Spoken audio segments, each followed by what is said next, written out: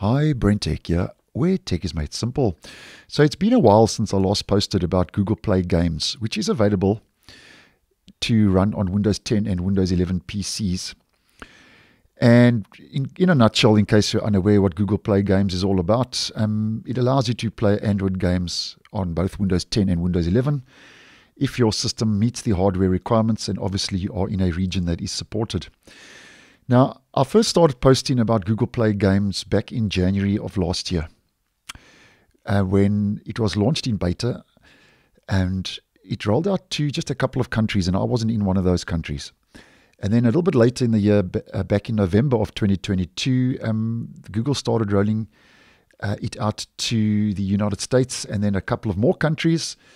And now, just to let you know, it's now available in over 120 regions worldwide. And Google has now expanded that rollout of Google Play games now to over 60 new regions.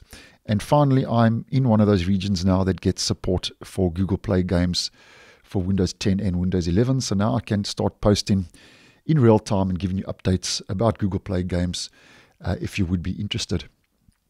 Now, on the 25th of July, which was yesterday in my region, um, Google did a keyword update where they rolled out four updates, key updates to Google Play Games beta on PC. So it's still in beta. So just take note of that, which means um, it's still in preview. So you could experience a couple of bugs. And the first of those key updates is that you can now play hundreds of games, uh, including new titles like Free Fire Max and so on. Now, Google has this to say. They say, we now have hundreds of games in our catalog, including popular titles like Cookie Run, Kingdom, Eversoul, Summoner's War, Homescapes, Evony, The King's Return, Call of Dragons, and Arknights.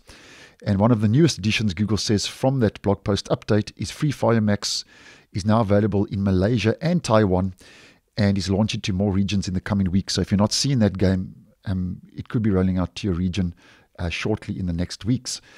Now, Google has this to say, and they say that since uh, your game progress and library sync across phones, tablets, Chromebooks, and PCs, you can easily switch between devices during gameplay and pick up right where you left off. So that's the convenience of actually having the app and the Google Play app now on your actual PCs. You can sync across your different devices, which just makes things a whole lot easier and simpler if you are um, using Google Play games to obviously do your gaming.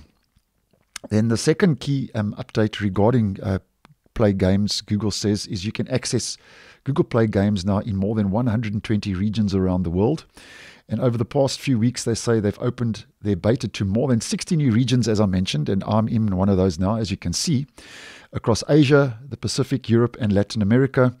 And today you can play Google Play games in more than 120 regions around the world, as I did mention at the start of this video. And then the third key update is you can experience the beta now on more PCs, which means additional PC users now can give it a try. And by the way, uh, just on a side note, if we just head over to the settings, the latest version you need to have for these updates is app version 23.6.594.10. So just take note of that. And then the fourth key update they say that is rolled out now for Google Play games is you can customize your keyboard where they've added keyboard remapping capabilities so you can customize which keys you want to use as controls and match them to your gameplay preferences. So just letting you know now that if it wasn't in your region, just have a check. And Google Play games now could be available in your region. And to do this, if you want to double check, I will leave this download page in the description. And if it is available for download in your region, you can obviously just hop over to this and you can download the beta. And then once that's downloaded, you can just install that. And then obviously um, you will be able to play Google games and Android games and right from the convenience of your PC. But one thing to take note of, if we just head back to the download location, it's got quite steep system requirements. And the minimum requirements to be able to run this are Windows 10 version 2004 and any later and newer version. Here's where I think it might catch a couple of users. Um, your storage needs to be SSD, so solid state drive with 10 gigabytes of available storage space. So take note of that.